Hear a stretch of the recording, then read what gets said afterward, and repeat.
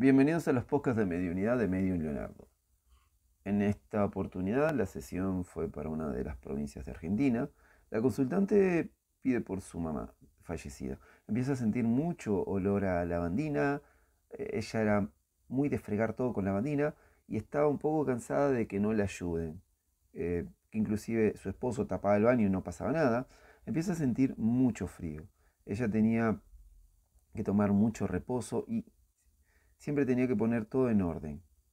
Eh, y era como que una mujer muy de la casa y que soportaba mucho. De pronto empiezas a ver algo que es, me muestra de una mujer que ella conoce mucho, que está muy deprimida y que no está en sí muchas veces y que no sale de la casa.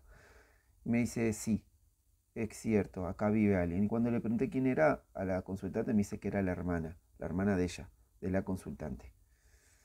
Em, después empieza a mostrar una chancleta o pantufla bordada con una flor, pantalones bordados con una flor y que le gustan las nietas. Me dice, sí, mi mamá me bordaba esto, era bordadora.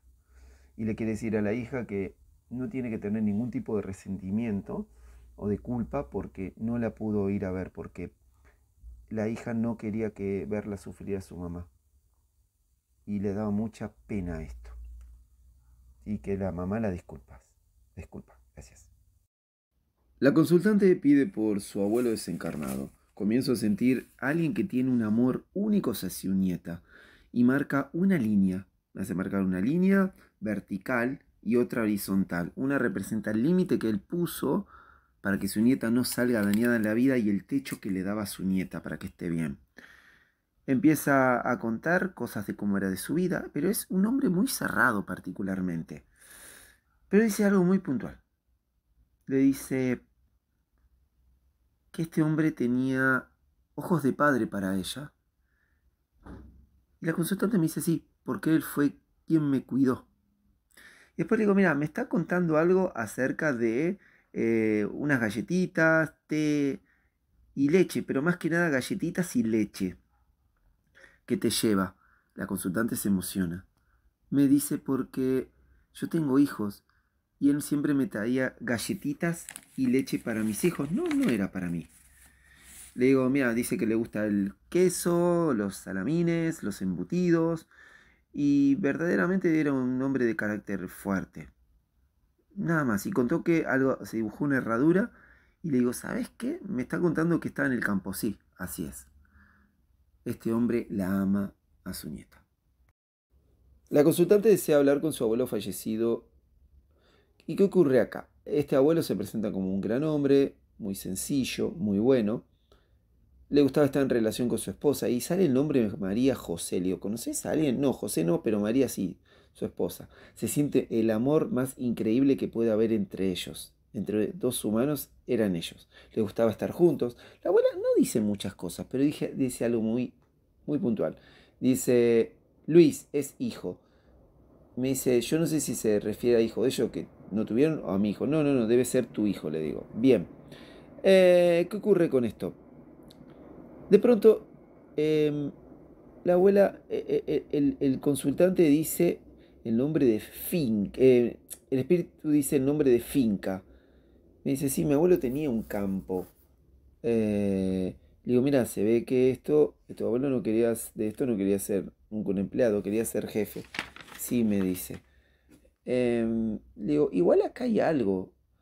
Siento como que vos querés descubrir algo. Me dice, sí. Y ahí me comenta el asunto del campo y su madre. Y nada más. De eso se trató. La consultante pide por su hija, desencarnada. Apenas pide por ella, siento que se me cierra la garganta. Y le dice, mamá, tú no pudiste estar.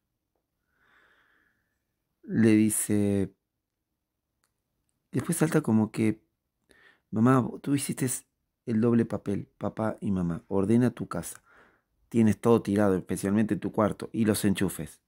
En un momento le digo, mira, siento que alguien que ella llama prima, prima.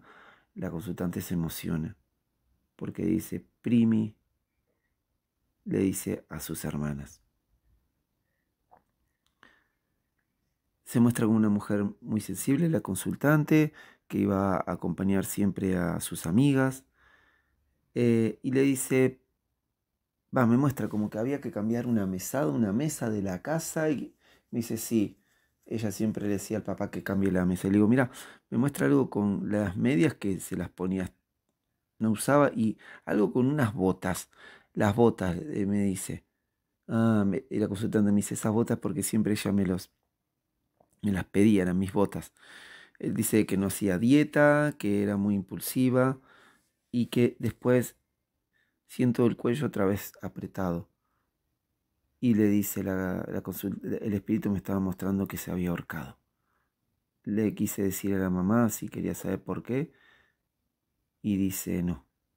Y el espíritu le dice, perdóname mamá. Yo tendría que haberte dicho que me estaba pasando. No tienes culpa.